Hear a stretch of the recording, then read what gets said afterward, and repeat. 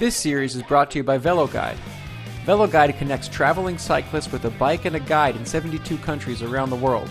It's a great way to ensure a fun, safe, and customizable ride with a local expert or even a pro. Go to veloguide.com slash cookies to get $20 off your next cycling adventure. Uh, but I'm still in Lehigh Valley for a couple days. I don't fly out to LA until Monday. Um, and while I'm here, I still have to show you this great cycling scene. So we're gonna do it in a way that's like a little bit, a little bit weird because um, there's no bikes involved. Uh, but uh, but we got the van. This is uh, the the van trip is still happening, and we're doing a charity ride uh, before I leave. So uh, so oh, and I I know this area. I come. I used to race track here every summer. I came when I first started out. Um, I will be. I'm your velo guide. You can't see it because I'm wearing a Hawaiian shirt because you need button downs for the sling. But uh, but I'm your velo guide for this trip, and I want to thank everyone who's donated so far to No Kid Hungry. Um, and then, of course, the biggest the biggest donor would be Show Air, who, if it wasn't for them, I'd be doing a GoFundMe for me. Um, but uh, thanks, and uh, let me show you what we got going on in Lehigh Valley. So, of course, the reason that, that people come here to ride bikes is the bike riding is great. Um, this whole valley, all Lehigh Valley, it's just all these farm fields, um, beautiful roads, not a whole lot of traffic. Um, it's it's kind of fun because the the farms were built, I think, before the roads were. So the roads are going around people's private property.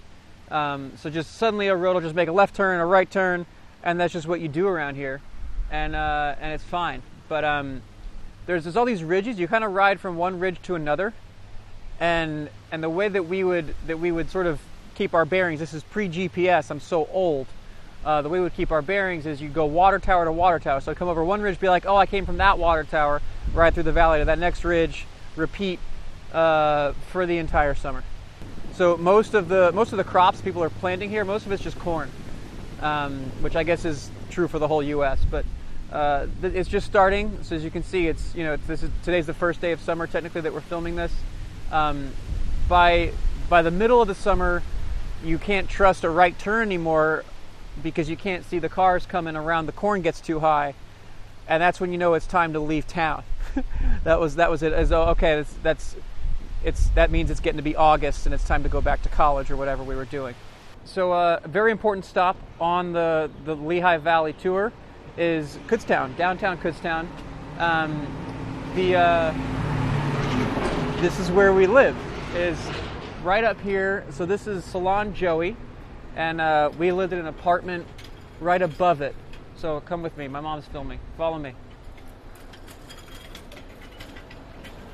Um, so this is salon, and then up those stairs, there's apartments above it, and uh, and we would just cram eight guys into three rooms, and that was fine. I remember, I remember Johnny spilled oatmeal on those stairs, and we had to sweep it, and everybody was pissed off. There was all this oatmeal in the street once, um, but we're 21, it's fine. But uh, so a lot of the the pro cycling community stays. Kutztown's like 15, 20 minutes from the track. Um, and a lot of cyclists kind of stay in this town. There's a Kutztown University is up the hill, and they've got like apartments that are obviously empty in the summer because it's university. Um, but it's a cool little village, lots of fun, cheap restaurants, and uh, and a good atmosphere. So you can hear all the noise here. It was that was my window, that apartment on the right, the the middle floor. So all these trucks driving down the highway and then they're shifting to get to this red light at the bottom of the hill. And then they reaccelerate the other way to go up the hill. Um, and that was that was how we would sleep. Was, was all this noise. It's great for being an athlete. And another important part of the kutztown scene is the kutztown tavern uh, which is it's a tavern there's a good place to hang out we would do a lot of pretzel pizza was the thing. Um, I wasn't. I'm still not a beer person. I certainly wasn't then. But uh, everywhere here, like it's it's all German settled here, so uh, everything is pretzel, sourdough. Uh, but the pretzel pizza is delicious, and they have like a pretzel, a soft pretzel that's uh, little cheese and mustard. It's fantastic. I still think about it. I haven't been here in 10 years. Um, might go in there and try one. Want to go? Let's go have one. The um, this is our this is our soft pretzel. Let's see if it holds up. You want to you're gonna get it with a cube of cheese. Just kind of like this is meant for two hands, but we'll live.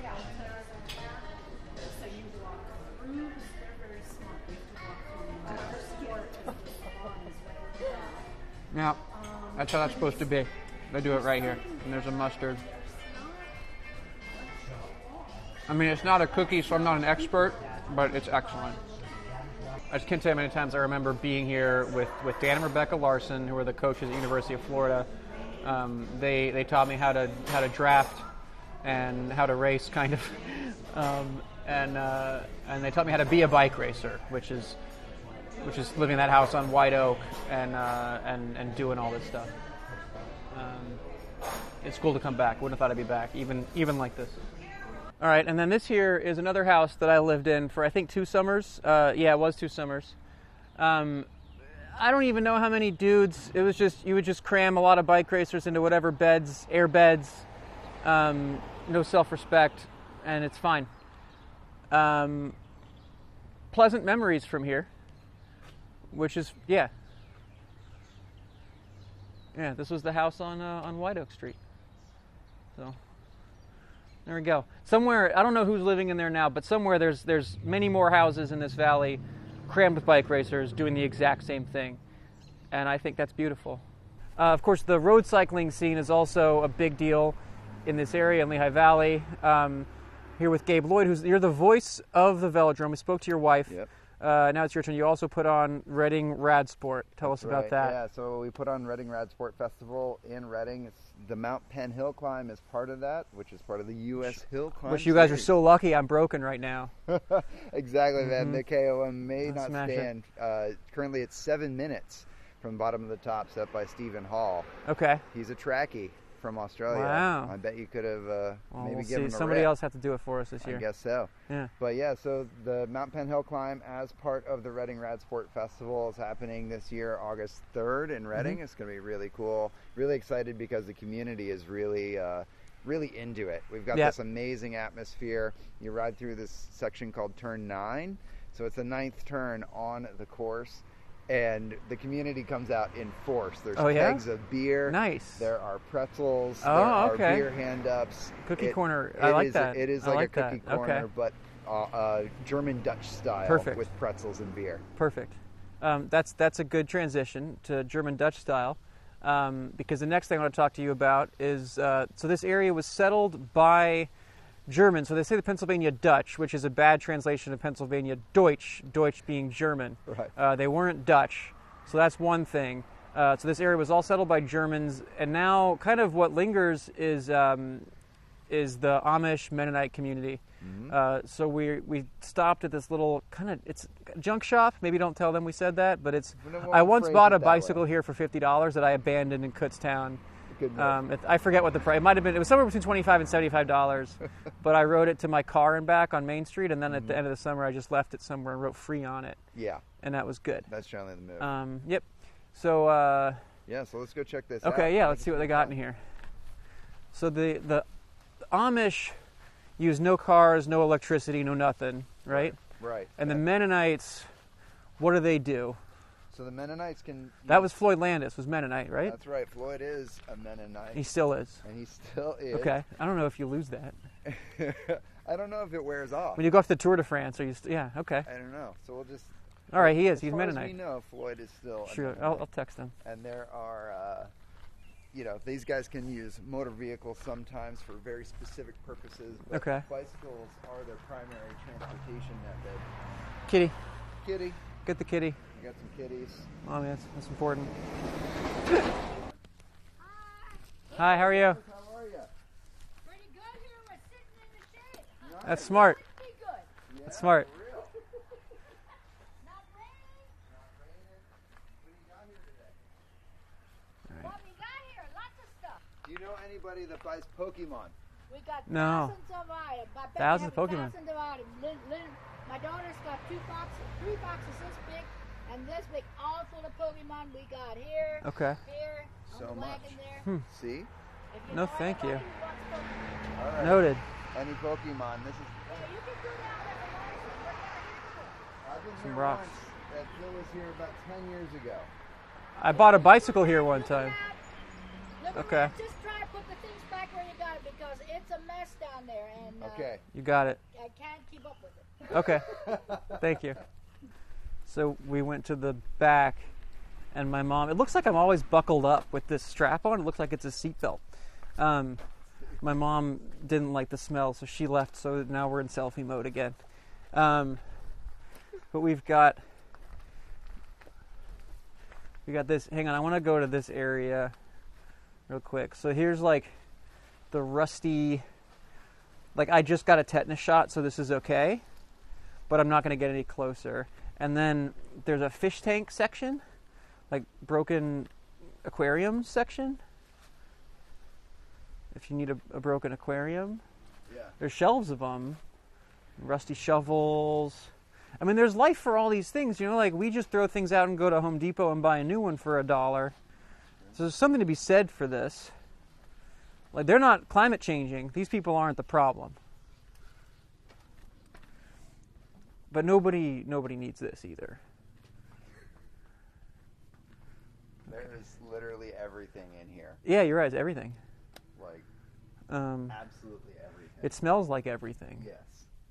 Look Oh how my far god, the clothes. Whoa. Yeah. That's not a mirror. I have to be careful I don't trip. Holy shit.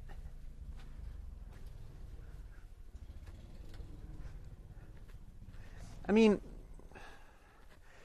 Gabe, is this hoarding? Uh well It's they- not not hoarding. Well, they qualify it because they're selling it. Okay. So technically, it's a store. But if it weren't for that qualification, I think we'd be in the hoarding uh, territory here. I never watched that show. But I feel like this is kind of it. Okay, I'm scared. Yeah. think I don't want to get any deeper because I also don't know how structural this is. Yeah, there's way. layers. Yeah, I mean, we're we could go. We could do another aisle. Yeah, this is like Inception. Yeah, But like this is not like Inception. this is it's uh, like rolls. It's like in those dreams in Inception where it just Yeah. keeps folding on itself. Are we ever gonna get out? I don't know. It depends who's gonna wake us up. Oh shit, that would be great if I just woke up. To be honest, if there was one video that I just woke up from and it wasn't real, I would take it. This one. Yeah, sure. I just got my. I totally got myself hitting my head on this busted shelf. Like, I feel like if you sneeze, this whole structure comes down. It's entirely possible. Yeah. Okay. Sunglasses are off. Birdcage section. There's a birdcage section. Yeah, yeah, yeah. I mean, if you buy a birdcage at Walmart here, you're an idiot. Yeah. You know, some crystal Yeah, you need fancy dishware. grilling Hey, stuff. This might help you out. Do you need a neck massager? I do, but there's no way that works, Mm, and I can't fly with that. you never know, though. I appreciate you looking out. Um. Oh, this is awesome. All this art.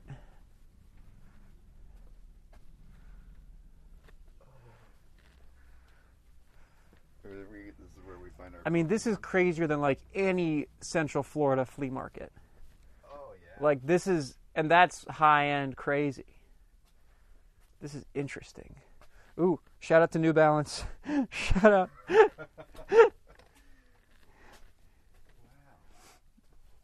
Wow. Oh, here's some quilts, um, or blankets, or pillowcases. I think at this point, a gift to my mom would not be appreciated. Tacos. The hot dog king. All right. I mean, still unique. Okay. You get a job here. Maybe I'll just do that. Nine fifty an hour. So another important thing in, in Lehigh Valley, an institution, is Yocco's hot dogs. Uh, so here we are. I've actually never had one, Gabe.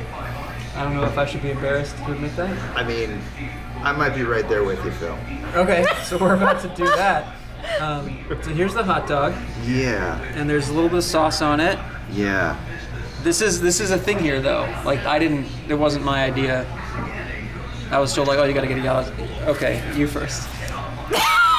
We're not gonna lady in the tramp. All right, I'll go first. Whatever. Yeah, yeah. You go for it. and then I'll take a bite from the other side here. Here's the hot dog.